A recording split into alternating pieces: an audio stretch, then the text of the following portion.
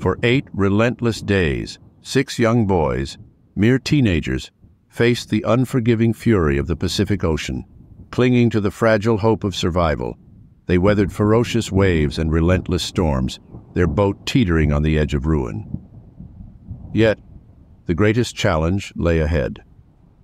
As fate would have it, their damaged craft ultimately succumbed to the treacherous embrace of rocky shores of Ata, marking the beginning of an even more extraordinary journey that would test their courage and resilience on this deserted island for the next 15 months.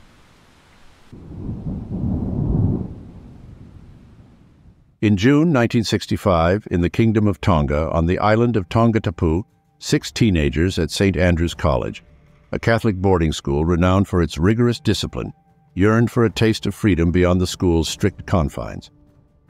This group of daring boys included Sione Fatawa, the eldest at 16, along with Stephen Fatailatu, Kolo Fekitoa, Sione Felipe Totau, and the youngest, David Tavita Siola, aged 13.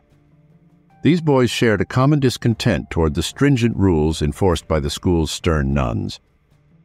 Fueled by a heady mix of teenage rebellion and a craving for excitement, the boys crafted their audacious escape plan.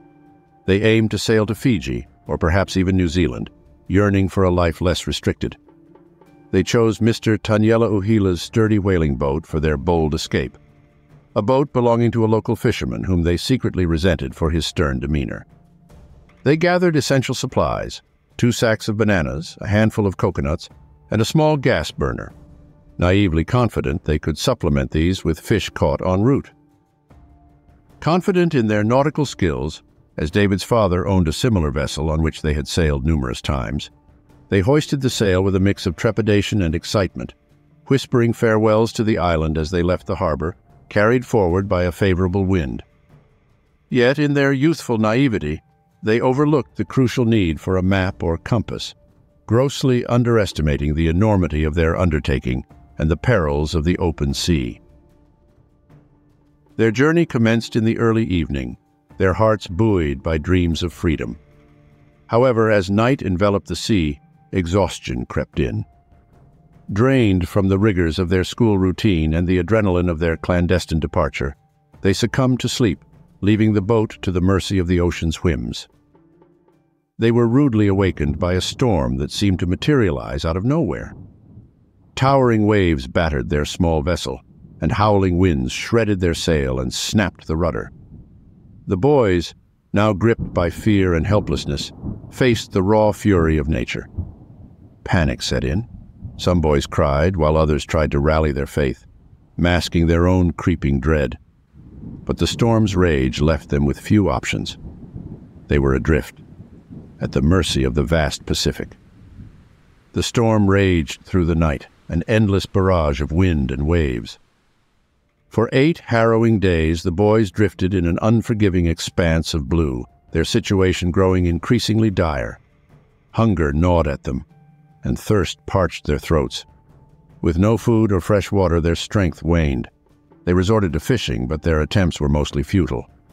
Rain brought brief respite, as they eagerly collected droplets in hollowed-out coconut shells, rationing this precious gift to a few sips each morning and evening.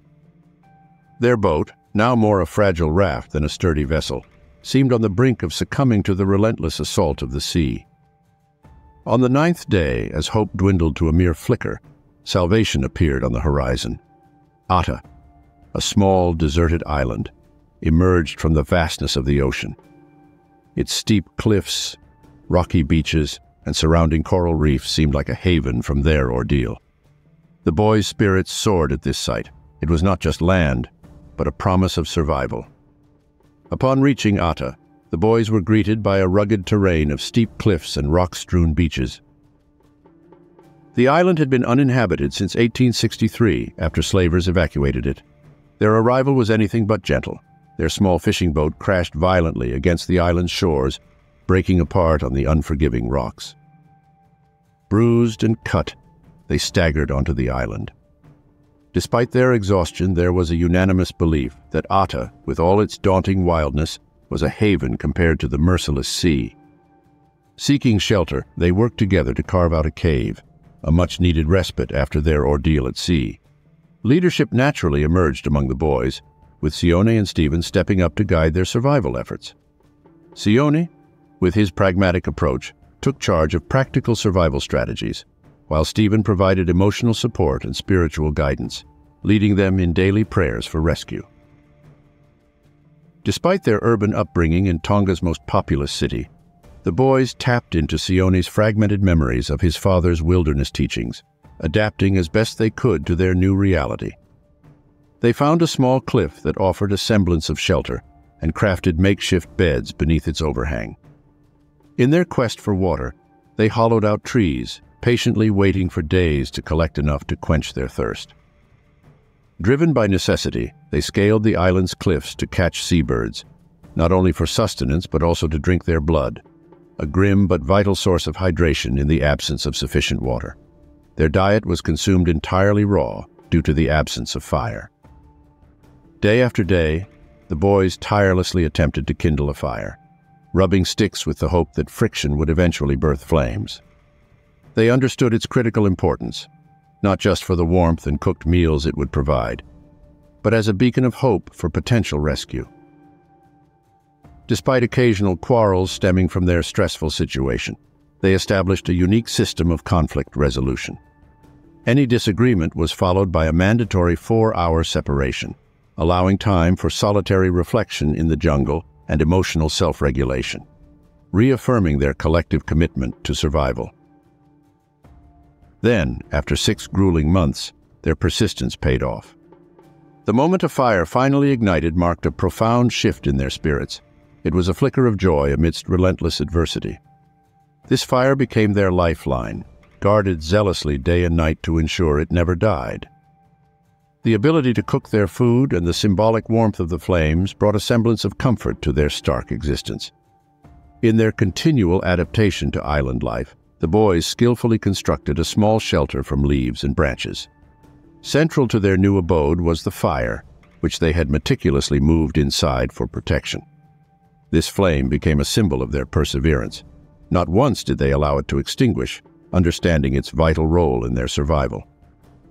Hunting seabirds had become a daily necessity, with each boy tasked with capturing at least two birds daily to ensure sufficient food and hydration. Tragedy struck when Stephen, during one of their routine hunts, lost his footing and tumbled down the steep cliffs of Ata rugged terrain. The boys frantically searched and found him perched precariously on a narrow ledge, his leg broken. They carefully carried him back to their shelter, where they fashioned a makeshift splint from branches. Stephen's recovery became a collective responsibility.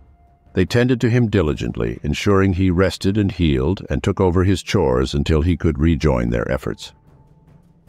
Driven by hope and curiosity, the boys explored every corner of Ata. Their persistence led them to the peak of a flat-topped mountain, where they stumbled upon an incredible discovery, the ruins of an old village, abandoned since Captain McGrath's raid in 1863. Amidst the remnants, they found wild yucca, other vegetables, and, astonishingly, descendants of chickens left behind by the fleeing villagers. This discovery transformed their food situation, the boys engaged in games of capture the chickens, eventually corralling about 200 of them. They nurtured these chickens, feeding them coconut scraps, and relied on their eggs as a steady food source. Only in perilous weather, recalling Stephen's accident, would they resort to eating a chicken, opting to stay safe rather than risk another injury. As time wore on, the boys, driven by a fading hope of rescue, built a raft in an attempt to leave Ata. However, their plan was foiled when the raft disintegrated a mile offshore, forcing a demoralizing swim back to the island. Resignation set in after about a year.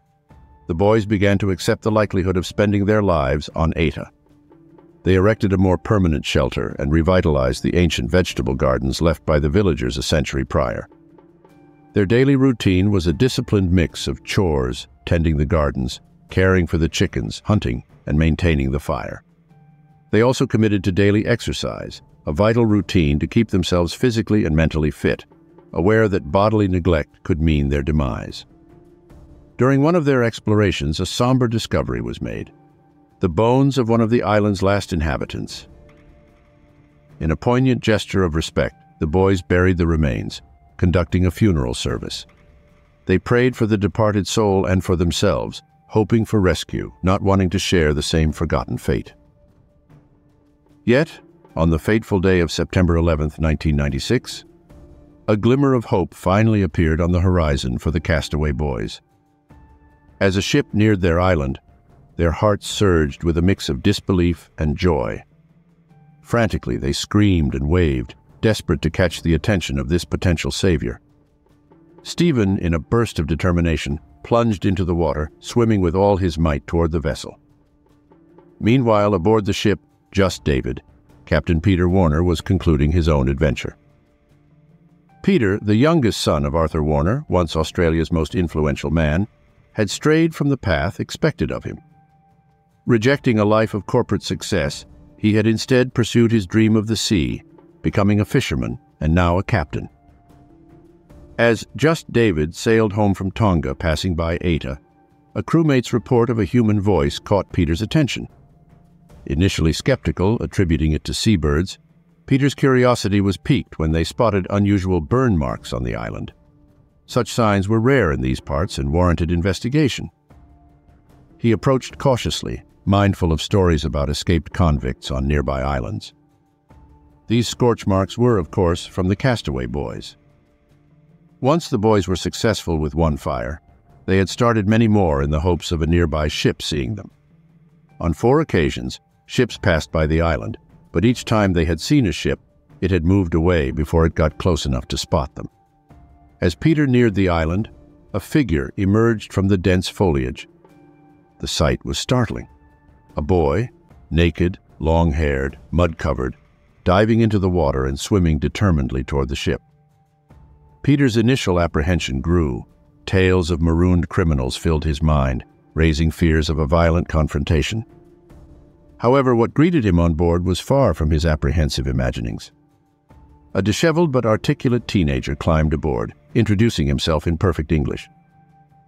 My name is Stephen. There are six of us, and we reckon we've been here for 15 months. Cautious but intrigued, Peter radioed the Tongan capital for confirmation. The operator's response was astonishing. Peter had found the lost boys, presumed dead for over a year. Back home, their families had mourned, holding funerals for sons they believed lost at sea. Upon their remarkable discovery, Captain Peter Warner and Stephen ventured back to Ata to retrieve the remaining boys. What Peter witnessed astounded him. The boys had not just survived, they had flourished in an environment where most teenagers, accustomed to the comforts of the 60s, would have faltered. These were no ordinary teens. Their upbringing in tropical Tonga had endowed them with skills exceptionally suited for island survival. Yet, the journey to normalcy was fraught with another unexpected hurdle. Upon their return, they faced legal repercussions for their impulsive theft of Mr. Taniela Uhila's boat. The fishermen, undeterred by their harrowing ordeal, pressed charges, resulting in their arrest and imprisonment. Peter, moved by their plight and the boys' courage, devised a creative solution. He proposed to document their incredible survival tale, aiming to use the proceeds from the documentary to compensate for the stolen boat, thus securing the boys' freedom and their reunion with their families.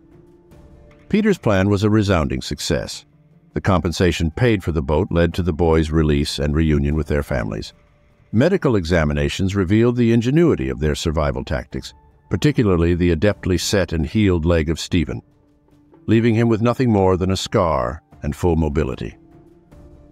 The boys soon collaborated with Peter in creating the documentary, returning to Ata to film the reenactment of their survival story.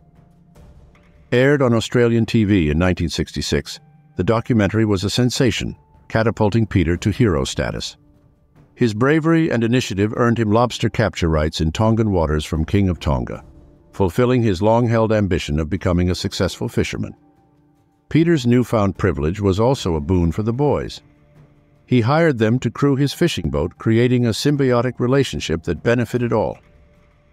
Peter escaped the mundanity of accounting, while the boys found an exciting alternative to their boarding school routine. Together, they embarked on a new chapter, sailing the seas that once posed their greatest challenge, now the backdrop of their shared venture and newfound freedom. Thank you so much for watching. We really appreciate your time and hope you enjoyed the video. If you liked what you saw, be sure to check out the other great content on our channel. Your support means the world to us, and we can't wait to bring you more. Thank you again, and see you in the next video.